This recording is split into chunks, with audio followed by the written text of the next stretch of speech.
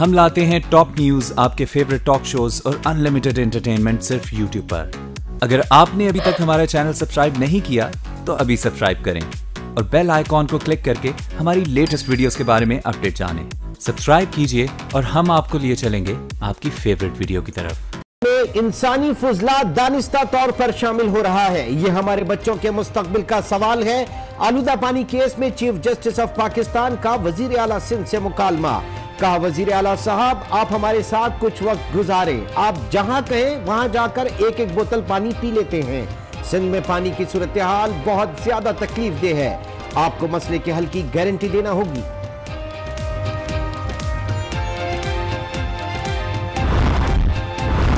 Chief justice ने वज़ीर अला सिंह से यह भी कहा कि आपको बुलाने का मकसद तलबी नहीं, मसला हल करना है। मुकदमे को मुखासमाना मत लीजिएगा। ये सिंध हुकूमत की बुनियादी ज़िम्मेदारी है। बिलावल भुट्टो हमारे बच्चों की तरह है। ख्वाहिश थी कि बिलावल यहाँ आते और खुद सूरत हाल देखते। वज़ीर अला सिंह बोले सिमत दुरुस्त करने की कोशिश कर रहा हूँ। अदालत कुछ वक्त दे। अदालत ने कहा कि आपकी सदा पर हम वक्त बढ़ा देंगे।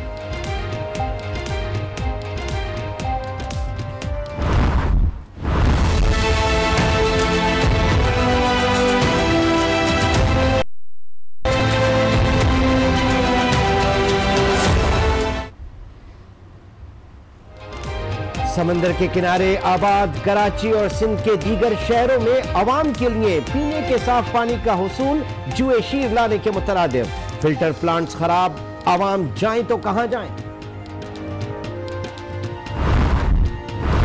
एहतसाब अदालत में अलजीजिया स्टील मिल रेफरेंस की समात नवाज़ शरीफ के पाउंड और यूरो अकाउंट की तफसलात अदालत में पेश।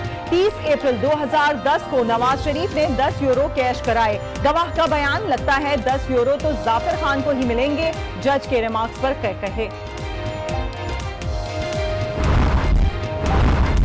नवाज़ शरीफ ने एक बार फिर एहतसाब को इंतकाम करार दे दिया। कहते हैं, क्या अदालतें इसलिए बनाई जाती हैं कि मार्शल को कानूनी शक्ल दें या डिक्टेटर्स को हार पहनाएँ? ये घिनौना खेल, बंद होना चाहिए।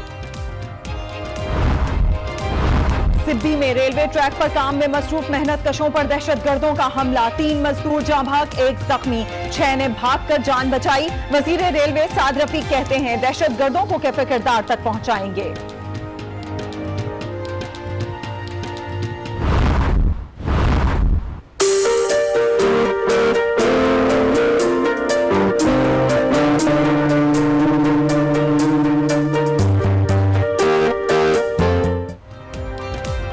खैबर से कराची तक और गिलगित से जाड़े का राज। कराची में भी सर्दी की लहर बरकरार, शहर के बासी बदली रुत से लुत्फानंदोज